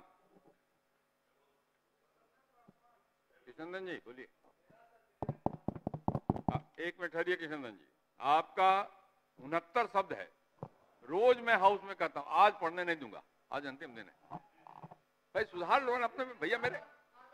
मेरी बात सुनिए ना, मेरी बात देखिए, मैं ये क्यों कहता हूँ? मुझे क्या आपसे झगड़ा है? लेकिन मैं चाहता हूँ कि आप सुधार कर लीजिएगा तो आपको हर बार मौका मिलेगा। आगे सुने ना करिएगा। ठीक है। विनय जी, बैठ जाइए बोलिए। माननीय अध्यक्ष महोदय, बिहार राज्य में दूध उत्पादन हेतु किसानों एवं पशुपालकों द्वारा प्रत्येक पंचायत में दूध उत्पादन समिति का गठन किया गया है। दूध संग्रह हेतु समितियों की गाड़ी के माध्यम से जिला दूध संग्रह केंद्रों में भेजा जाता है। गाड़ी विलम्ब होने के कारण दूध खराब हो जाती है एवं दूध संग्रह करने में काफ़ी कठिनाई होती है। अतः मैं राज्य सरकार से मांग करता हूँ कि सभी दूध संग्रह केंद्रों को भवन का निर्माण कराई जाए एवं फ्रीजर का लगवाया जाए। श्री किशनंदन पासवान।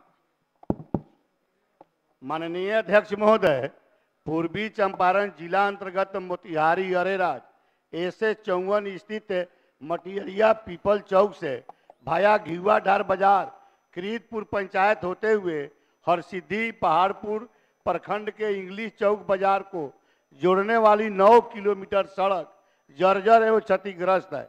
आवागमन के दृष्टिकोण से अति महत्वपूर्ण सड़क का निर्माण कराने का सरकार से मांग करता हूँ। श्री अरुण सिंह।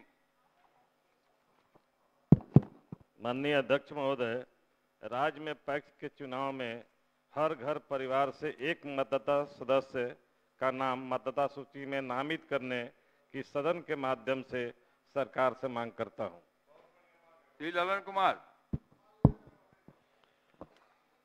माननीय अध्यक्ष महोदय, अनुसूचित जाति, अनुसूचित जनजाति अत्याचार निवारण अधिनियम के मुकदमों में विलंब से गिरफ्तारी एवं कोर्ट से अभियुक्तों को तुरंत बेल मिलने से अनुसूचित जाति जनजाति वर्ग के लोगों पर अत्याचार में वृद्धि हुई है। सरकार से उक्त मुकदमों में त्वरित गिरफ्तारी एवं ठोस कार्रवाई की मांग करता हूँ। श्री संजय कुमार सिंह। अध्यक्ष। अरे बिना माइक की आपकी आवाज़ सुनाई पड़ती है संजय जी बोलिए। अध्यक्ष महोदय माइक दो जी।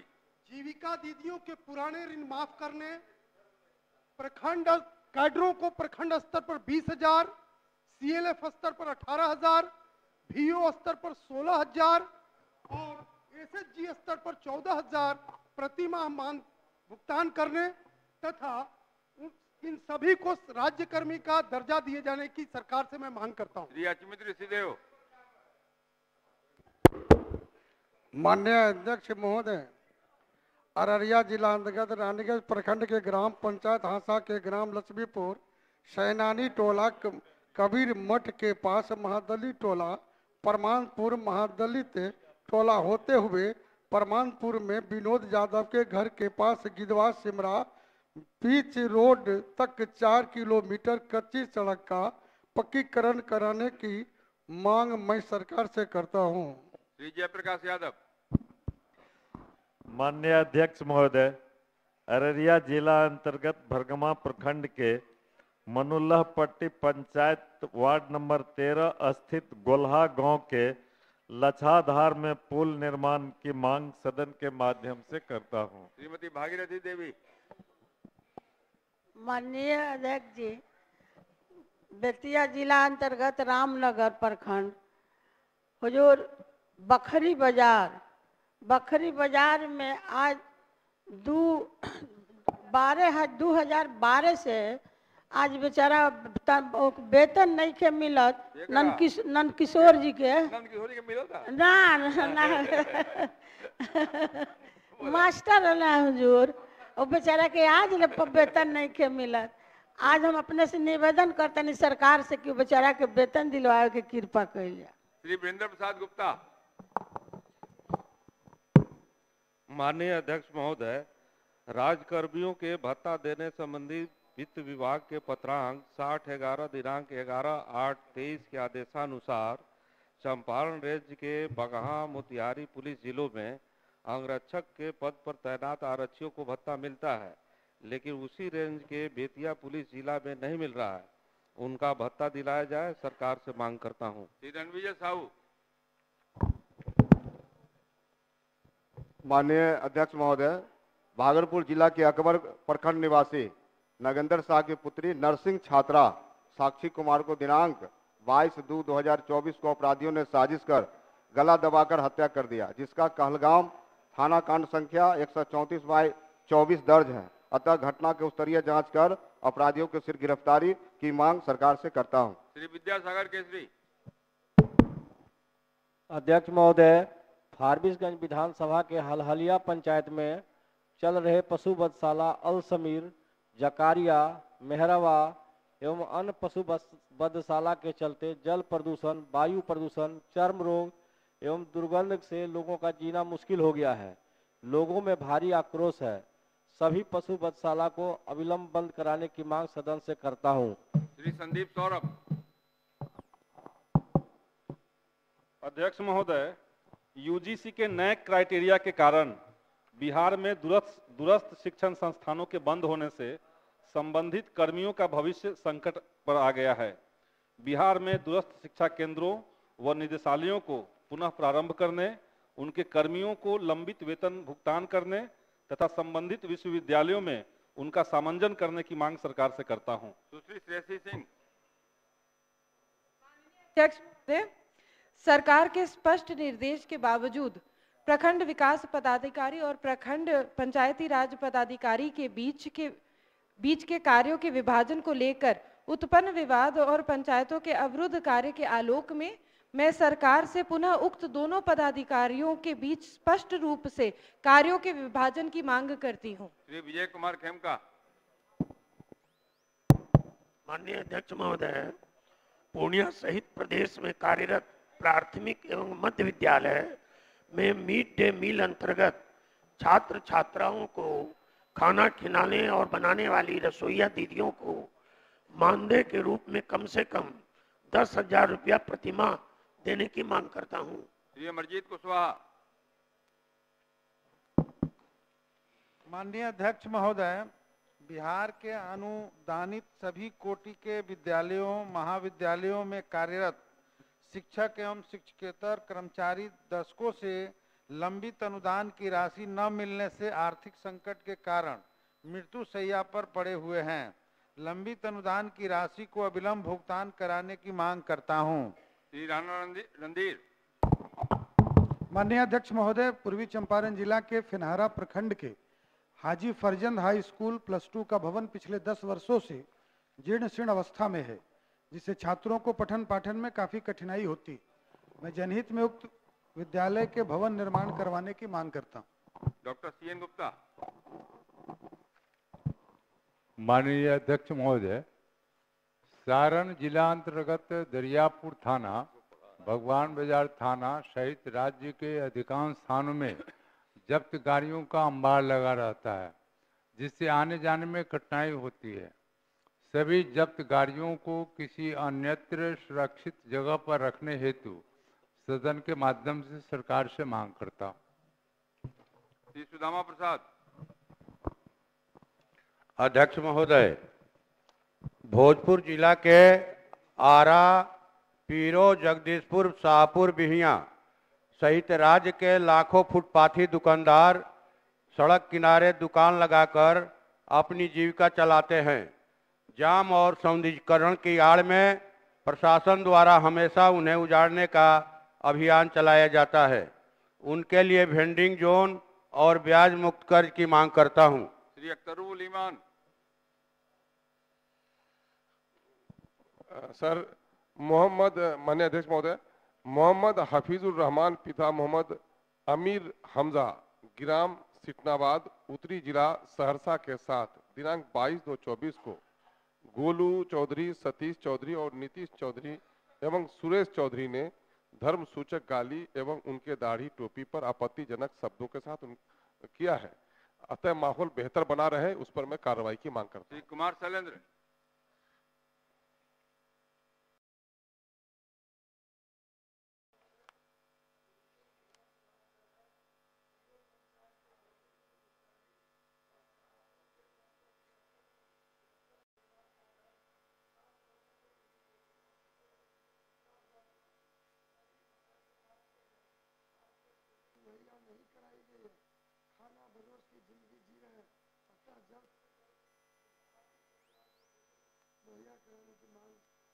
श्रीमती रश्मि वर्मा।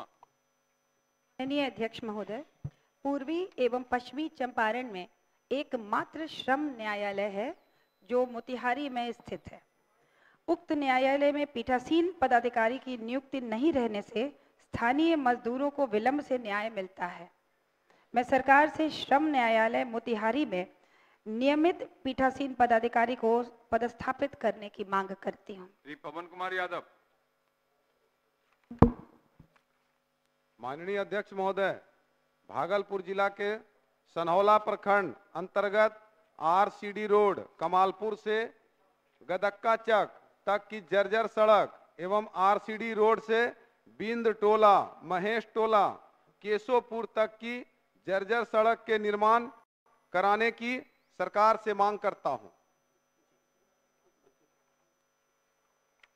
अब ध्यान आकर्षण सूचनाएँ लिए जाएँगे। संवेदनशील मामला है, सर। मौका नहीं है दूसरे फॉर्म में रखे बात को। कि सर, अभी सरकार ने रेवेन्यू डिपार्टमेंट ने एक सर्कुलर जारी किया है कि जमाबंदी में जिसका नाम नहीं होगा, वो ज़मीन रजिस्ट्री नहीं कर सकेगा। और पेंडिंग में काफ़ी है, सर म्यूटेशन के मामले, जमाबंदी के मामले में। बेटियों की शादियाँ रुकी हुई हैं। बीमारों का इलाज रुका हुआ है, सर। रजिस्ट्रेशन का मामला पाँच फ़ीसद हो गया है सर। पंचानवे फ़ीसद हो गया सर। ये मामला सर के विशेष कैंपेन चलाकर पहले म्यूटेशन करा दिया जाए। म्यूटेशन में ऑनलाइन होने से बड़ी दिक्कत हो रही है सर। सदन का आखिरी दिन है सरकार सर। के ध्यान में आ प्लीज़ गई। करा दिया जाए सर। ये काम करा दिया जाए सर। सरकार सर, बैठ जाइए। सर। माननीय सदस्य राणा रणधीर द्वारा सूचना पड़ी गई है। माननीय मंत्री शिक्षा विभाग।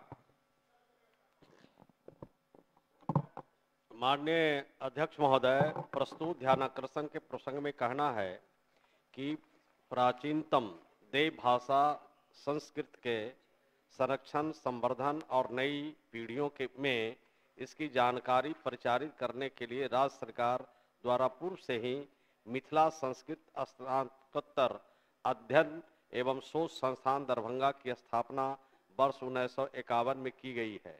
इस संस्थान में स्थापना काल से ही एमए संस्कृत पीएचडी एवं डी लिट की उपाधि प्रदान की जाती है। यह संस्थान अपने पठन पाठन एवं संस्कृत भाषा क्षेत्र में उन्नयन कार्य के लिए जानी जाती है। इस संस्थान के लिए, के द्वारा पांडुलिपियों पर आधारित 75 ग्रंथ तथा शोध पत्रिका 35 खंडों में कुल 135 पुस्तकें एवं पत्रिकाओं का प्रकाशन किया जा चुका है। यह संस्थान क्रियाशील है। राज्य सरकार के समक्ष किसी अन्य संस्कृत शोध संस्थान की स्थापना का कोई प्रस्ताव विचाराधीन नहीं है। ठीक है। माननीय सदस्य अमरेंद्र प्रताप सिंह। पूछना चाहता हूँ। एक तो मैं जानकारी और कर दूँ कि सरकार ने खोला नहीं था। महाराज दरभंगा ने खोला था इक्यावन में सरकार ने बाद में अधिग्रहित किया था कोई अर्थ नहीं। लेकिन सारी पांडुलिपियाँ जर्जर हालत में है पचहत्तर प्रकाशित हुई हैं ज़रूर, लेकिन दस हज़ार करीब पांडुलिपि वहाँ पड़ी हुई है, और वो पांडुलिपि का रख रखाव की कोई व्यवस्था नहीं है। कृपया विशेष कार्य योजना बनाकर पांडुलिपि पर काम करना चाहती है। और दूसरी, एक और बात मैं कहना चाहता हूँ कि ये ये जो ध्यानाकर्षण है, इसका मुख्य उद्देश्य संस्कृत विषय का, संस्कृत भाषा का और संस्कृत पढ़ने वालों का प्रचार प्रसार उद्देश्य है। और इसमें सब मैं पूछना चाहता हूँ कि बिहार संस्कृत शिक्षा बोर्ड चालीस पचास साल पहले बनी थी और बनने के बाद उसमें करीब एक हज़ार विद्यालय को प्रस्वीकृत दी, तनख्वाह भी दी रही है। लेकिन 40 वर्ष पहले भूमि और भवन दाताओं ने मकान बना दिया था और सरकार ने अधिकृत किया। मतलब सरकार ने उसको स्वीकृति दी थी। सारे के सारे भवन ध्वस्त हो गए। भवन कहीं नहीं है। करीब करीब अधिकांश शिक्षक रिटायर हो गए। मैं सरकार से जानना चाहता हूँ क्या कोई कार्य योजना है कि संस्कृत को आधुनिक के लिए जो संस्कृत शिक्षा बोर्ड बना था उसके शिक्षकों की नियुक्ति हो जाए और वहाँ भवन हो जाए इसकी कोई कार्य योजना सरकार के पास है? ये तो आपको अलग से प्रश्न करना पड़ेगा विनोद जी। अध्यक्ष जी तो इन्होंने जो किया आपका तो शोध संस्थान पर ही। है जी। तो वो उस पर तो उनको माननीय मंत्री को कैसे जवाब दे सकते हैं उसका? नहीं आप बंद करें दूसरे को दे दीजिए। ध्यान आकर्षण और लोगों का दो है केवल तीन मिनट समय केवल है। बोलिए। अध्यक्ष महोदय। हाँ अध्यक्ष महोदय जो शोध संस्थान की मैं तो हस्ताक्षरित जो शोध संस्थान की चर्चा हुई है मेरे विधानसभा में मेरे घर के बगल में है। उसको डॉक्टर देश के प्रथम राष्ट्रपति डॉक्टर राजेंद्र प्रसाद जी ने उसका उद्घाटन शिलान्यास किया था। बहुत ही उस शोध संस्थान की है। इसलिए मैं माननीय मंत्री जी से आग्रह करना चाहता हूँ। इन्होंने भी चर्चा की है कि वहाँ कई तरह के कार्य हो रहे हैं। पांडुलिपियाँ हज़ारों वर्ष पुरानी है। तो मैं पूछना चाहता हूँ क्या उसका कुछ जीर्णोद्धार उस शोध संस्थान का कराना चाहते हैं? माननीय मंत्री जी मैं ये पूछना चाहता हूँ और आग्रह भी करता हूँ कि बहुत आवश्यकता सरकार है गंभीर है जी जी गंभीर हो जाए तो जवाब हो जाए अध्यक्ष महोदय माननीय मंत्री जी का। ठीक है। माननीय सदस्य के घर के बगल में है महोदय। अब माननीय सदस्य को मालूम नहीं है कि संस्कृत ग्रंथावली सिर्फ़ भारत में नहीं महोदय। अंतर्राष्ट्रीय स्तर पर ख्याति प्राप्त है महोदय। तो इनको तो जानकारी होना चाहिए। जी। और माननीय झा जी साहब को भी जानकारी होगी महोदय। माननीय मंत्री जी एक बात जो उन्होंने कहा है वो बड़ा महत्वपूर्ण है विनोद जी ने कहा है। जो पांडुलिपि है वो संरक्षित नहीं हो पाई है। तो ज़रूर सरकार इस पर ध्यान दे ताकि पुरानी पांडुलिपियाँ संरक्षित हो जाएँ। तो ज़्यादा बेहतर होगा। श्री अमरेंद्र प्रताप सिंह अपनी सूचना को पढ़ें। श्री अमरेंद्र प्रताप सिंह मानी सदस्य अपनी सूचना को पढ़ें। अध्यक्ष महोदय। एवं अन्य शहरों के बाहर से बाईपास द्वारा एनएच है, जो उसे जोड़ते हुए दो एनएच है, जो उसे जोड़ते हुए मार्ग के प्राथमिकता के आधार पर उपलब्ध कराने के निर्णय के आलोक में भोजपुर जिला के मुख्यालय आरा के अंतर्गत धनुपुरा एनएच थर्टी से चंदवा, एनएच एटी फोर, बाँध का चौड़ीकरण उच्चीकरण करते हुए पटना आरा पथ एवं आरा बक्सर पथ को जोड़कर भारी गाड़ियों एवं अन्य वाहनों को शहर से बाहर मार्ग की उपलब्धता होने से सैकड़ों गाँव एवं आरा शहर को जाम एवं नारकीय स्थिति से मुक्ति दिलाने हेतु हम सदन के माध्यम से सरकार का ध्यान आकृष्ट करते माननीय हैं मंत्री। महोदय वस्तुत यह है कि भोजपुर जिला अंतर्गत प्रश्नगत बाईपास के निर्माण हेतु सात निश्चय दो सुलभ संपर्कता के अधीन विसंकृत बाईपास की योजना चयनित विस्तृत परियोजना प्रतिबंध विभाग को प्राप्त संसाधन की उपलब्धता एवं प्राथमिकता के अनुरूप बाईपास निर्माण पर विचार किया जाएगा। चलिए हो गया। आगे बढ़ते हैं। महोदय महोदय। समय समाप्त हो रहा है। महोदय ये महोदय ये 2014 से आपके समय का ये मामला है तो सिर्फ़ हैं। आश्वासन मिलता रह गया। प्राप्त है। लेकिन प्राप्त है लेकिन आप कहते हैं कि राशि के उपलब्धता के आधार पर महोदय। पैसे तो तो राशि उपलब्ध कौन कराएगा? बात से थोड़ी बनेगा राशि तो उपलब्ध भी कराएँ उसको करवा दें। सरकार गंभीर है इस पर। सौ डेढ़ सौ दो सौ गाँव उससे जुड़े हुए हैं महोदय। और बहुत वो इम्पोर्टेंट वो रास्ता है। और आरा में जाम दिन रात लगा रहता है और नारकीय स्थिति है उससे मुक्ति मिल पाएगी। आप भी जानते हैं इन्हें से जुड़ा हुआ मामला है। जी। तो सरकार इसके बारे में प्रस्ताव बना के भारत सरकार को भेजती है वहाँ से पैसा आता है तो होता है। सरकार इस पर कार्रवाई कर रही है। गंभीर है सरकार बैठिए। मानी ललित नारायण मंडल अपनी सूचना को पढ़े।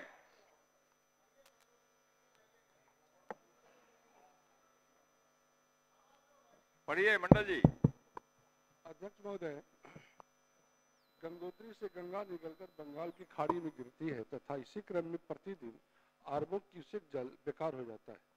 यदि भागलपुर जिला के सुल्तानगंज में गंगा से जल को लिफ्ट कर बांका ज़िले के हनुमाना डैम में संचित कर लिया जाए तो सुखाड़ के समय सुल्तानगंज, तारापुर, अभयपुर, बेलहर एवं जमालपुर विधानसभा के लाखों किसानों को पटवन जल उनके खेत तक पहुंचाकर उनका वित्तीय स्थिति में सुधार लाने हेतु हम सदन के माध्यम से सरकार का ध्यान आकृष्ट करते हैं। माननीय मंत्री जल संसाधन विभाग। माननीय अध्यक्ष महोदय वस्तु स्थिति यह है कि बांका ज़िले के चानंद प्रखंड के बदुआ नदी पर बदुआ डैम हनुमान हनुमाना डैम निर्मित है। हनुमाना डैम से मुंगेर ज़िले के संग्रामपुर तारापुर असरगंज प्रखंड बांका ज़िले के बेलहर शंभुगंज एवं फुलीडुवर प्रखंड तथा भागलपुर ज़िले के सुल्तानगंज प्रखंड में सिंचाई सुविधा उपलब्ध कराई जाती है। हनुमाना डैम के जल अधिग्रहण क्षेत्र में कम वर्षापात होने की स्थिति में नहर की अंतिम छोर तक सिंचाई सुविधा उपलब्ध कराने में कठिनाई होती है। अतः गंगा नदी से जल उद्वह कर हनुमाना डैम में जल संचय करने के कार्य की तकनीकी आर्थिक की जाँच की जाएगी। ठीक है जी। हो गया समय? सर की जाएगी जाँच की जाएगी? सर। हम आभार व्यक्त करते हैं सर। ठीक है। और पाँच विधानसभा के बात है सर। अध्यक्ष महोदय इसमें स्पष्ट बता देना चाहते हैं डैम की 30 वर्षों में जल संचय के डाटे के आधार पर आवश्यक जल की मात्रा का आकलन किया जा रहा है महोदय। योजना कार्य में के व्यय के आधार पर अर्थात लाभ लागत अनुपात के आकलन कर योजना के कार्यान्वयन हेतु निर्णय लिया जाए माननीय सदस्य धन्यवाद दिया आपको। सभा सचिव। धन्यवाद अध्यक्ष महोदय बिहार विधानसभा की प्रक्रिया तथा कार्य संचालन नियमावली के नियम 267 के अंतर्गत मुझे प्रतिवेदित करना है कि विभिन्न विषयों के संबंध में पटल पर रखे गए विवरण के अनुसार कुल एक याचिकाएँ प्राप्त हुई हैं। सप्तदश बिहार विधानसभा के एकादश सत्र में प्राप्त याचिकाओं का विवरण। कुल प्राप्त याचिकाएँ 157 स्वीकृत याचिकाएँ 146 अस्वीकृत याचिकाएँ 11 अब सभा की कार्यवाही दो बजे दिन तक के लिए स्थगित की जाती है।